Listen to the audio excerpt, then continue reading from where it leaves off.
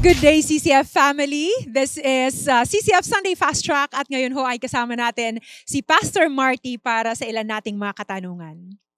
Pastor Marty, ito hong una nating tanong. Uh, alam natin na sa social media ngayon, maraming kumakalat na mga bagay-bagay tungkol sa nalalapit na katapusan. Bilang Krisyano, paano ba tayo makakasiguro na tama yung discernment natin pagdating sa mga bagay sa social media? Thank you, Venus, for that question. Actually, tama ka doon. Marami talagang mga iba't ibang klaseng paniniwala uh, na sinespread sa social media.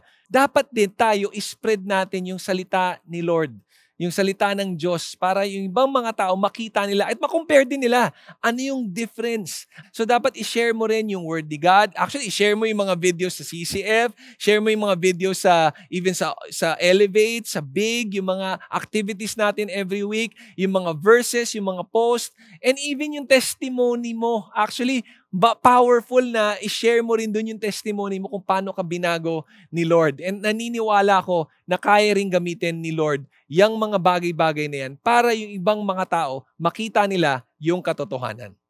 Ito, Pastor Marty, alam natin to lahat na bilang tao, hindi naman talaga tayo perpekto. At nagkakamali tayo, nagkakasala pa rin tayo.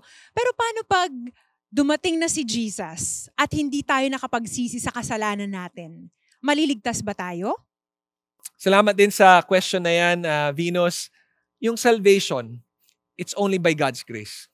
Now, lahat tayo imperfect and minsan nagkakaala pa rin tayo, minsan may nagagawa tayong masama, pero maliligtas ka dahil sa ginawa ni Kristo.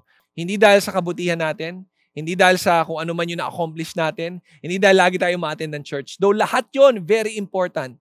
Pero lahat yon result lang dahil mahal natin si Jesus. Maliligtas ka dahil may personal kang relationship sa Kanya. Siya ang Lord and Savior mo. Mahal mo siya with all your heart, mind, soul, and strength. I tell you, maliligtas ka. Siguro ito, Pastor Marty, uh, huling katanungan na lamang po. Ano yung mga practical na bagay na pwede nating gawin para yung mga mahal natin sa buhay ay maging handa rin para sa end times?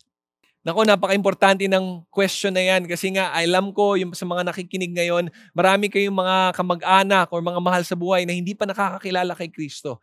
Para maging handa sila, the first step, tell them about Jesus. Yung gospel, yung good news, yung pagdating ni Jesus dito, namatay siya sa cross para mamatay sa kasalanan natin at nabuhay siya muli. Yan ang first step pero of course, importante rin na mapakita mo sa kanila ang pagmamahal ni Kristo. Dapat maging mabuti kayo sa kanila.